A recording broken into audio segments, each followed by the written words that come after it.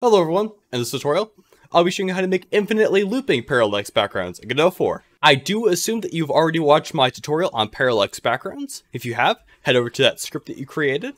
Let's go ahead and create a new variable, and it will be an offset for our position. So position offset, we'll set that to a vector 2 in our ready function. Let's go ahead and set that position offset to our position. So it'll get whatever our starting position is. For this next step, you'll need to know the length of your tile. So you could do this by measuring it, or if you already know it, use that. So also check to say 1,000, and we'll see that 4,000 is the amount of a full tile. Now, back in our script, let's check if our position dot x minus our player dot position dot x is greater than our size, which is 4,000, as we covered in the previous step.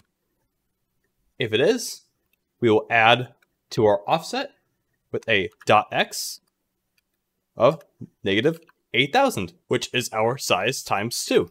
Now, let's check if our position minus our player position dot x is less than our negative size. We will plus add 8,000. And finally, we must add this position offset to our looping position. So whenever the player is greater than the size, it will move the tile to match the player. And for this, we will need to have two of all of our tiles. So for the first one, let's duplicate it. Let's drag it over. Let's set its initial to 4000. And we don't need to change the code for this because we have the initial offset. And now we will duplicate every single other one. Make sure that they are next to each other in the hierarchy. Otherwise you will have some weird layering issues. And now I will hide the player so we can see the full effect. I have increased his speed so we can see it faster.